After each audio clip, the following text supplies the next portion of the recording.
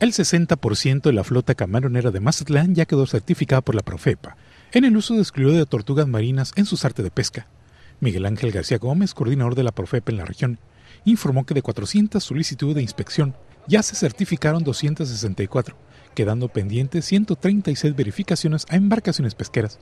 Señaló que el certificado de uso de excluidores es un requisito indispensable para que las embarcaciones camaroneras obtengan el despacho vía la pesca, por lo que deben previamente que certificarse. Bien, fíjate, vamos avanzando. Hasta ahorita tenemos 164 eh, pendientes, 134 solicitudes pendientes y 264 embarcaciones ya certificadas. Esperamos que a partir del lunes empiecen a llegar algunas eh, solicitudes más para irlas a certificar.